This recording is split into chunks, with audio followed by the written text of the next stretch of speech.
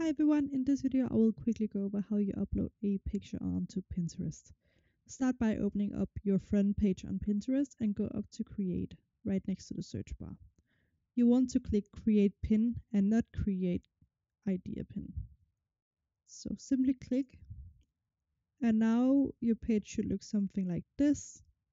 Now you can drag and drop or click to upload. I'm just gonna click to upload and I want to upload this picture. Now you can add your title. I'm just going to call this one fashion. And you can add some um, more information about what the picture is about.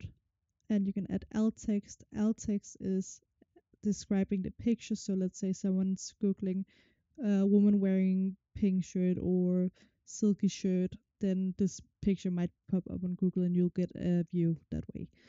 Um, and finally, you can add a destination link. I'm not going to do any of this for this video, um, but simply go up on the board you want to save it to. You have no option but to save it to a board, so make sure you do that.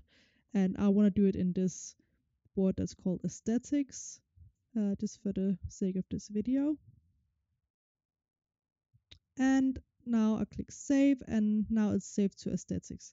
So instead of clicking see it now, just to confirm it's actually uploaded, let's click back here and now go to your profile. Now, when I click on my board that's called aesthetics, you can see that my picture has been uploaded successfully. And that's how you upload a picture to Pinterest.